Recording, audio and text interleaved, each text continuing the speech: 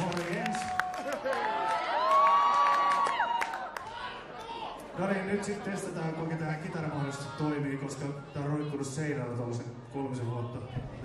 Kyllä se ainakin valot syttyy. Tulekaa sieltä ääntä. Hei, loistavaa! Joo, eli toisin sanoen, ää, meikäläisellä on kyseenalainen kunnia tuntea kaksi kaveria. Toinen on tuo Ringmanin Mika, se on säätäjä. Toinen on Tommi Salmela, se on sitten pahemman luokan säätäjä. Ja johtuen näistä kyseenalaisista tuttavista, jotka pisti sitten kai koko tämän konserttiidean alun perin vireille, niin meikäläisellekin on sitten kunnia olla täällä.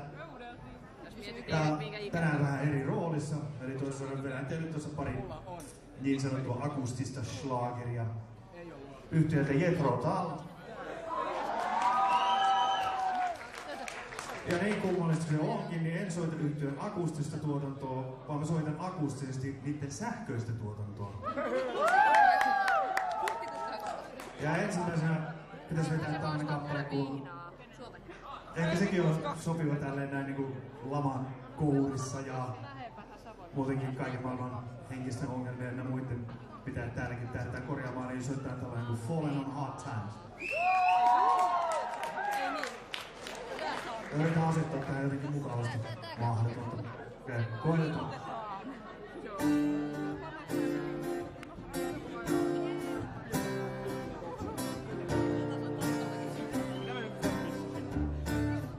Falling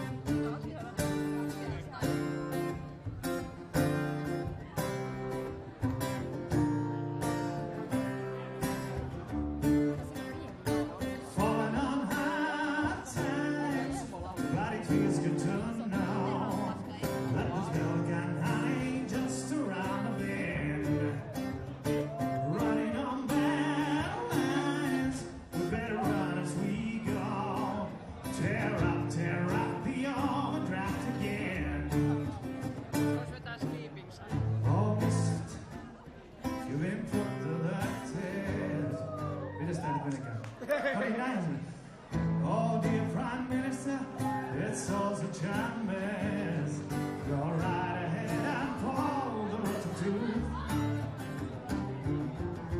Oh, Mr. President, you've been put to the test. Come clean for once and hit us with the truth. Looking for sunshine, but it's back and it's cold. Just running. Giving us a hard time, my friends. Light again. We're falling on hard times. Now there's to hide.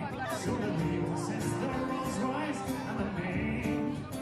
tuolla. Turning on the peace